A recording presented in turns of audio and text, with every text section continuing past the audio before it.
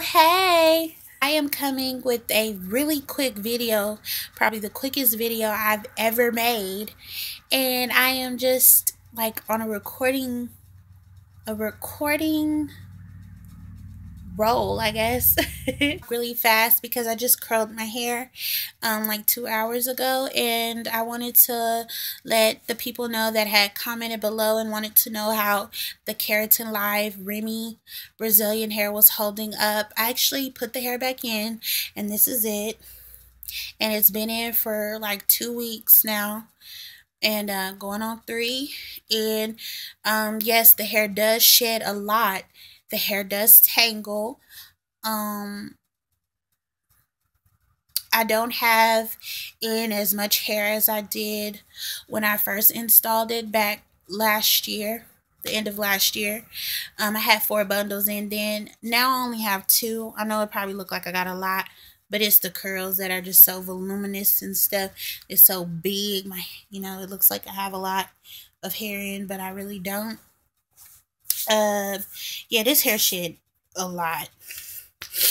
Um, like I said, you know, uh, if you go back on my other videos, you will see that, um, and watch my other reviews over it, you will see that I have done a lot to the hair. I have done a conditioner bath that's been washed several times.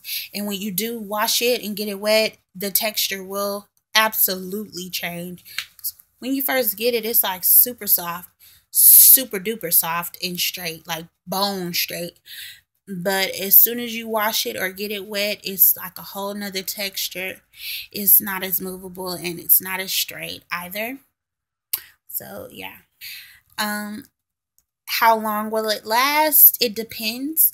Um, if you're thinking about putting this hair in for a sew in and you thinking that it's going to last two months, it's not going to last that long. I would suggest that if you do use this hair to use it for like a bob look, I think it would be a lot better for like bobs and stuff. As far as long lengths and stuff like that, if you're not into like doing daily maintenance to your hair, if you're not into taking care of your hair or you don't know how to take care of weave, this is not the hair for you. And I'm just being 100% honest. I would not suggest you guys buy this hair, but I mean, if you want to take a chance with it, you can. It's your quaint. It's not my quaint. So I won't buy it again. Like, I absolutely won't.